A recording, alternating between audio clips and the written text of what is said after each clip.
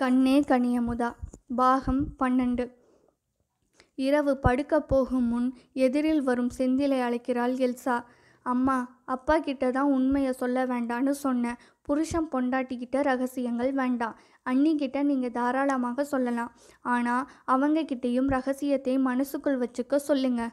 என்ன பூங்கொடி உனக்கு என்ன என்ன வந்துச்சு இன்னைக்கு? அந்த தாயி தங்கி இருக்கிற அறையே பார்த்துட்ருக்க அது வந்து எல்சா எழுந்திரிச்சு வந்தால் காலையில் பணியாரம் செய்யவா? இல்லை ஆப்பம் சாப்பிட்றானான்னு கேட்கணும் அதான். இது எதுக்கு அவள்கிட்ட கேட்கணும் இரண்டுமே அவளுக்கு பிடிக்கும். இன்னும் கொஞ்ச நாளில் ஊருக்கு கிளம்ப போகிறா இரண்டையும் செய் சித்ரா இதோ வந்துட்டேம்மா. அக்காவுக்கு கூட மாட உதவி செய். சரிம்மா. அண்ணி காஃபி தர்றீங்களா? குரல் கேட்டு திரும்பியவள் தன் முன் நிற்கும் எல்சாவை தழுவிக்கொள்கிறாள். எல்சா நீ நீ தான் எங்கள் அமுதாவா? என் புருஷனோட ஆசை தங்கச்சி என் அருமையான நாத்தனார். காதல் கிசு கிசுக்க அண்ணி மெதுவா அம்மாவுக்கு தெரிஞ்சிட போகுது. வா பின்பக்கம் போவோம். உன்கிட்ட நான் நிறைய பேசணும். பின்புறம் தோட்டத்தில் அமர்ந்து சிரித்து சிரித்து பேசும் எல்சாவையும் பூங்கொடியையும் பார்க்கிறாள் வள்ளி. இதுங்களுக்கு இன்னைக்கு என்ன ஆச்சு? காலையிலேயே ரெண்டு பேரும் அரட்டை அடிக்க உட்கார்ந்துட்டாங்க. சித்ரா வாமா நம்ம ரெண்டு பேரும் பலகார வேலையை பார்ப்போம். இன்னைக்கு பூங்குடிக்கு என்ன ஆச்சுன்னு தெரியல. காலையிலேயே தாயி கிட்ட அரட்டை அடிக்க ஆரம்பிச்சிட்டா. இருக்கட்டும் தாயி இன்னும் கொஞ்ச நாளில் அது ஊருக்கு புறப்பட்டு போயிடும். அப்புறம் நினைச்சாலும் பேச முடியாது. பெருமூச்சு விட்டபடி அடுப்படி நோக்கி செல்கிறாள் வள்ளி. பிள்ளைங்க சொல்கிறத கேட்கும்போது நம்பவும் முடியல நம்பாமல் இருக்கவும் முடியல. நீயும் வாத்தியார் ஐயாவும் சேர்ந்து லோன் ஏற்பாடு பண்ணி நம்ம முருகனுக்கு மெக்கானிக் கடை செந்தலுக்கு டியூஷன் வகுப்பு நடத்த எல்லா வேலைகளும் செஞ்சுருக்கீங்களாமே? சத்தியமாக சொல்கிறேன் தாயி. மறுஜென்மம்னு ஒன்று இருந்தால் நீ என் மகளாக என் வயிற்றில் பிறக்கணும். உன்னை காலம் மூச்சோடும் என் கூடவே வச்சுக்கணும்.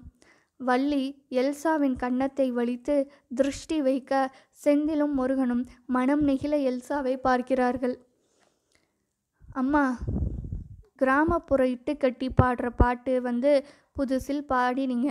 மனசு வருத்தத்தோட உங்கள் மகள் அமுதாவை நினச்சி உருக்கமாக இருந்துச்சு.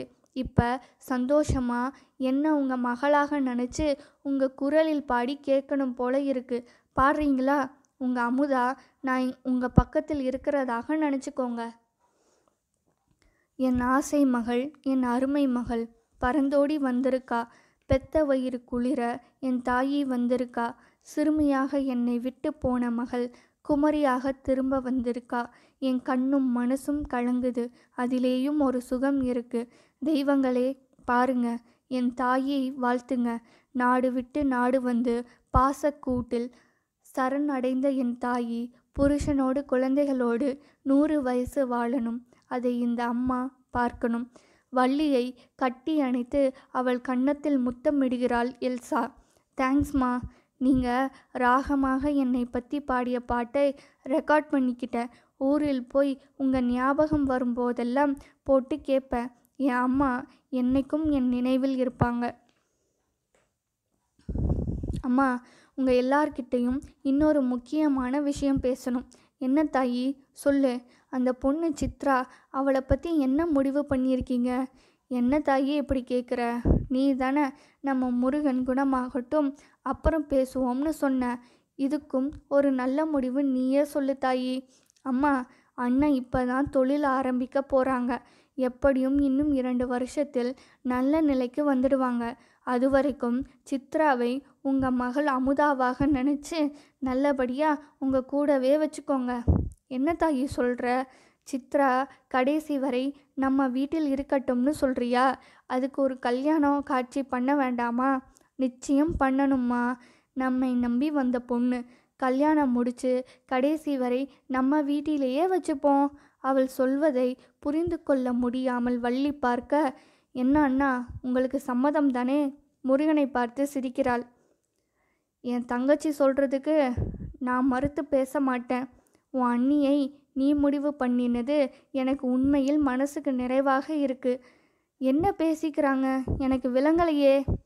அம்மா எல்சா உங்களுக்கு சின்ன மருமகளை முடிவு பண்ணிட்டா. நம்ம முருகனுக்கு சித்ராவை கல்யாணம் பண்ணி வைக்கலாம்னு சொல்கிறா உங்களுக்கு சம்மதம் தானே செந்தில் சொல்ல அப்படியா தாயி சொல்கிற சித்ரா நல்ல பொண்ணு தான் நீ சொன்ன மாதிரியே இரண்டு வருஷம் கழித்து கல்யாணம் முடிப்போம். கல்யாணத்துக்கு நீ வருவியா தாயி?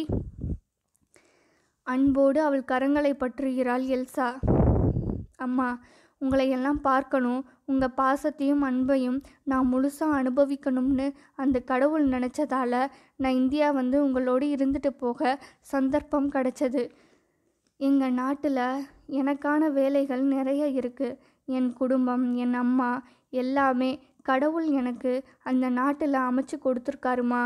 அதனால் நான் உங்களோடு இருக்கிறது இதுதாம்மா முதலும் கடைசியும். ஆனால் உங்கள் எல்லோருடைய அன்பையும் பாசத்தையும் சுமந்துக்கிட்டு நான் என் வாழ்க்கையை எங்கள் நாட்டில் சந்தோஷமாக தொடருவேன். எல்சா சொல்லி முடிக்க அனைவரது கண்களும் கலங்குகிறது. அம்மா நான் கிளம்ப வேண்டிய நாள் வந்தாச்சு. நாளை காலையில் புறப்படணும். எங்களுக்கு சென்னையில் கொஞ்சம் வேலை இருக்கு. போயிட்டு வந்துடுறோம். எல்சா ஃபெட்ரிக்குடன் கிளம்ப. அண்ணி இன்னைக்கு உங்கள் கையால் ஸ்வீட் செஞ்சு வைங்க. என்ன விஷயம்னு வந்து சொல்கிறேன் காரில் இருந்து இறங்கும் ஃபெட்ரிக்கை தொடர்ந்து கையில் ஒன்றரை வயது குழந்தையுடன் இறங்கும் எல்சாவை ஆச்சரியம் மேலிட அனைவரும் பார்க்கிறார்கள். என்ன தாயி கையில் குழந்தையோடு வர? அம்மா நீங்கள் உங்கள் மகள் அமுதாவை குழந்தை இல்லாத தம்பதிக்கு தத்து கொடுத்தீங்க. எந்த தாயும் தன் குழந்தையை மனம் ஒன்றி பிரியறதில்ல. சந்தர்ப்பம் சூழ்நிலை தான் அவங்களை பிரிக்குது. அது மாதிரி தனித்து விடப்பட்ட இந்த குழந்தைக்கு நான் தாயாக மாற முடிவு செஞ்சிட்டேன். இவளை என் மகளாக தத்தெடுத்திருக்கேன். இவ தான் என் குழந்தை உங்கள் பேத்தி. குழந்தையை வாங்கி நெஞ்சோடு அணைத்து முத்தமிடுகிறாள் வள்ளி. அண்ணி எல்லோருக்கும் ஸ்வீட் கொடுங்க. என் குழந்தை வீட்டுக்கு வந்ததை சந்தோஷமாக கொண்டாடுவோம். எல்சாவை பிரிய போகிற வருத்தம் எல்லார் மனதிலும் இருக்க குழந்தையுடன் ஃபெட்ரிக்கும் எல்சாவும் சண்முகம் வள்ளியின் காலில் விழுந்து வணங்குகிறார்கள். இந்த குடும்பத்தில் ஒருத்தராக எங்களை நடத்திய விதம் நாங்கள் அந்நிய தேசத்திலிருந்து வந்தவங்கிற எங்கிற நினைப்பையே போக்கிடுச்சு. சந்தோஷமாக எங்களை ஆசிர்வாதம் பண்ணி அனுப்புங்க. நாங்கள் தான் உங்களுக்கு கடமைப்பட்டிருக்கோம் தாயி. எங்கோ பிறந்து வளர்ந்து எந்த இரத்த பந்தமும் இல்லாமல் எங்கள் குடும்பத்தின் மேலே அக்கறை எடுத்து என் பிள்ளைங்க வாழ்க்கையிலும் விளக்கேற்றி வச்சுட்டு போகிற நீ தான் என் மகள். உன் நல்ல மனசு தான் தாயில்லாத இந்த குழந்தைக்கு உன்னை தாயாக்கிருச்சு. இந்த குழந்தைக்கு தம்பி தங்கச்சின்னு பிறந்து நீ உன் புருஷனோட சந்தோஷமாக வாழணும் தாயி. இந்த அம்மாவோட ஆசிர்வாதம் என்னைக்கும் உனக்கு இருக்கும் இந்தாங்கம்மா உங்களுக்காக நான் வாங்கிய புடவைகளை வாங்கிக்கோங்க. எனக்காக வாங்கினியா? கொடுத்தாயி என் மகள் வாங்கி கொடுத்தான்னு சந்தோஷமாக கட்டிக்கிறேன். அம்மா இதில் ஒரு புடவைய இப்போ கட்டிட்டு வரீங்களா? நான் பார்த்துட்டு கிளம்புறேன். இதோ இப்போவே. கட்டி இருந்த சேலையை உருவி போட்டு நிமிஷமாய் கட்டி வந்து அவள் முன் நிற்கிறாள். என் அம்மா இப்போ எவ்வளவு அழகாக இருக்கீங்க தெரியுமா? இந்த சந்தோஷத்தோடு நீங்கள் என்றைக்கும் சிரித்த முகமாக இருக்கணும். சரியாம்மா? உங்கள் பேத்தி அமுதாவை ஆசிர்வாதம் பண்ணுங்க. என்னம்மா பார்க்குறீங்க அவள் பேர் அமுதா.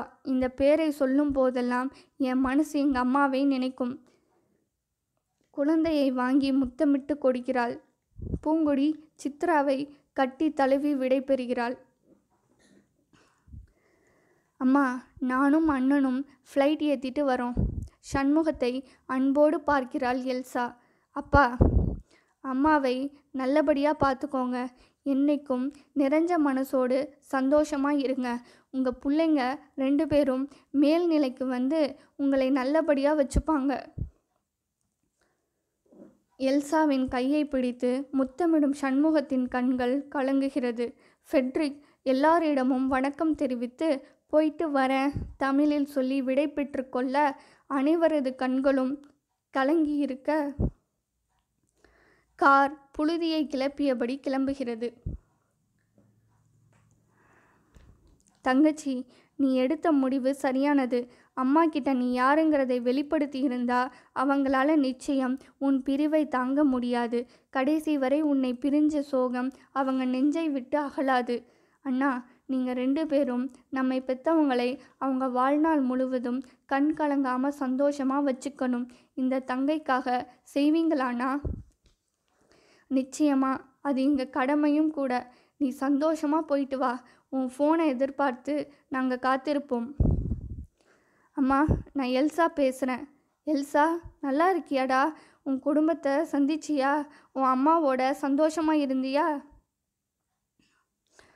ஆமாம்மா பெத்த தாயை சந்தித்த மகிழ்ச்சியை மனசில் தேக்கி வச்சுட்டு என்னை வளர்த்த ஆளாக்கிய என் தெய்வத்தை பார்க்க உன் பேத்தியோட கிளம்பிட்டேன்.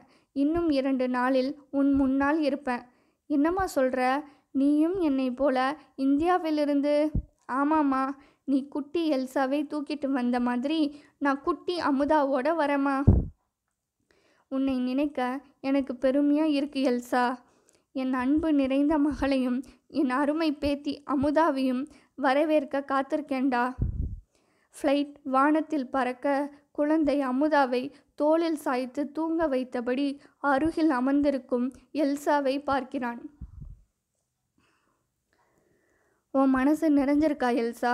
உன் விருப்பப்படி உன் குடும்பத்தை கண்டுபிடிச்சி அவங்களோடு இருந்து எல்லாரையும் சந்தோஷப்படுத்தி நம் மகளோட உன் அம்மாவை பார்க்க நம்ம நாட்டுக்கு போகிறோம் உனக்கு நான் நன்றி சொல்லணும் ஃபெட்ரிக். என் கணவன் நிறைவேற்றி வச்சிட்ட சொன்னவள் பேக்கை திறந்து பழைய புடவையை எடுக்கிறாள். என்ன எல்சா இது உன் அம்மா கட்டி அவிழ்த்து போட்ட புடவையை பத்திரப்படுத்தி எடுத்துகிட்டு வந்திருக்க? என் அம்மாவோட அன்பு வாசனை எல்லாமே இதில் இருக்குது ஃபெட்ரிக். இது கடைசி வரை எங்கள் அம்மா நினைவாக என்னோடு இருக்கும் சொன்னவள் அந்த புடவையை நெஞ்சோடு அணைத்து கொண்டு தூங்கும் அமுதாவை தன்மேல் சாய்த்து கொண்டு கணவனின் தோளில் சாய்கிறாள். கையில் இருந்த ரெக்கார்டரில் அவள் பதிவு செய்த பாடல் வள்ளியின் குரலில் மெல்ல ஒலிக்கிறது. என் ஆசை மகள் அருமை மகள் பறந்தோடி வந்திருக்கா பெத்த வயிறு குளிர என் தாயி வந்திருக்கா ஃபெட்ரிக்கின் கைகள் ஆதரவாக அவள் தலையை வருட எல்சாவின் கண்களிலிருந்து கண்ணீர் பெருக்கெடுக்கிறது. இந்த கதையும் கதை சொல்கிறது உங்களுக்கு பிடிச்சிருந்துச்சுன்னா இந்த சேனலை லைக் பண்ணுங்கள் ஷேர் பண்ணுங்கள் சப்ஸ்கிரைப் பண்ணுங்கள் பக்கத்தில் இருக்க பெல் ஐக்கானை கிளிக் பண்ணுங்கள்